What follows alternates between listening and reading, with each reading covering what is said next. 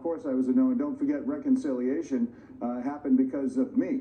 Uh, I, uh, in Obamacare, that was the first time they used it on any type of major piece of legislation because they know I would have stopped Obamacare cold. And, uh, and I wanted states to develop plans like they did in Massachusetts. And they want this one size fits all approach that the federal government is trying to ram things down your throat. Listen, that bill, you know, you and I both know what, what happens up there. They pass a bill with a framework framework, right? And plug in whatever they want. And what they're doing, what they're doing here is they're trying to affect social change, uh, dramatically change the very nature of our country through legislation and through the pen. And it's completely unacceptable what they're doing and give these giveaways to illegals who are being rewarded for the illegality. You know, cutting, uh, basically cut, cutting and putting people who are doing everything correctly, uh, ahead, putting them ahead of those people. You can't make this stuff up, and it's deeply, deeply concerning, and it has to stop. And it stops by taking over the House and the Senate in the next election.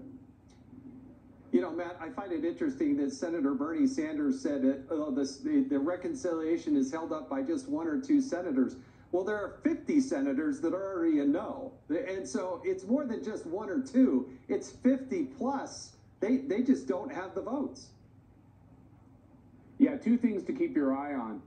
Much like Scott Brown's election in Massachusetts was a wake up call for the Democrats on how unpopular things like Obamacare were, but Glenn Youngkin in the Commonwealth of Virginia, look at these polls that are coming out. Virginia is a reliably blue state. Why are blue voters actually considering voting for a Republican?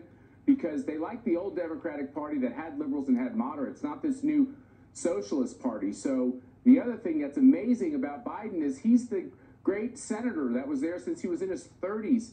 He can't even sit down with Lisa Murkowski and Susan Collins and a couple of these more liberal Republicans to try to get a deal. Even the most liberal of Republicans find this bill completely obnoxious. Yeah, it, it is so bad for America. Gentlemen, thank you for joining us uh, tonight on Hannity. Do appreciate it.